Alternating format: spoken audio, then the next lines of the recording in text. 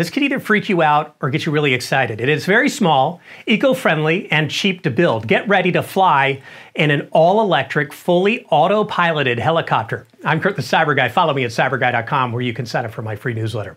Austrian startup FlyNow Aviation is developing an autopiloted, fully electric helicopter that it plans to have in commercial production by 2026. FlyNow's e-copter is driven by a coaxial electric drivetrain that incorporates two counter-rotating propellers. Because it only has two rotors instead of the four commonly found on flying taxis that are in development, FlyNow hopes that getting the helicopter certified will be a smoother process. Fewer moving parts and a smaller body mean that this copter could be cheaper to produce, easier to build, and have very good range.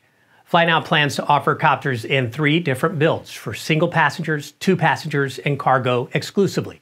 FlyNow's built a proof of concept model and conducted ground tests, but we're still waiting on a flying prototype. The company estimates that each version of the e-copter will have a flight range of about 31 miles and can cruise at 81 miles an hour with a payload capacity of 441 pounds.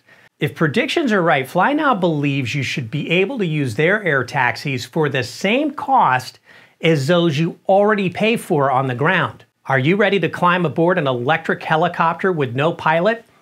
Me neither. More crazy tech like this at cyberguy.com. Are you getting my newsletter? Sign up for free with a little red button there.